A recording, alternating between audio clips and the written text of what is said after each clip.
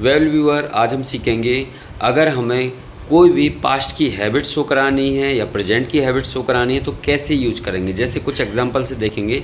मैं क्रिकेट खेला करता था, या मैं मंदिर जाया करता था, मैं चॉकलेट खाया करता था, या राजू अंग्रेज़ी पढ़ाया करता था, या मैं आइसक्रीम खाने का शौकीन हूँ। तो ये सभी सेंटेंस जो आप देख रहे हैं, ये आपकी हैबिट शो करा रहा है मीन्स आपकी आदत बता रहे हैं। तो यदि आपको कभी भी पास्ट की हैबिट शो करना है तो आप यूज़ करेंगे यूज्ड टू। जैसे, मैं क्रिकेट खेला करता था, subject plus use to plus verb की फ़र्स्ट फॉर्म, ओके?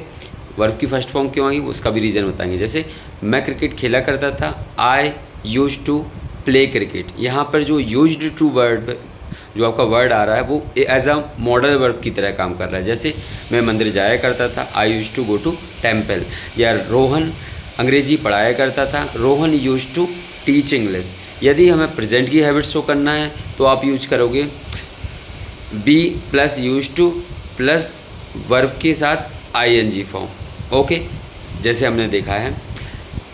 मैं अंग्रेज़ी पढ़ाने का शौकीन हूँ तो आप बोलेंगे I am use to teaching English Rohan मंदिर जाने का शौकीन है। Rohan is use to going to temple या उसका भाई लड़ने का शौकीन है। His brother is use to fighting okay और आप बोल सकते हो uh, मेरा दोस्त कार्टून देखने का शौकीन है।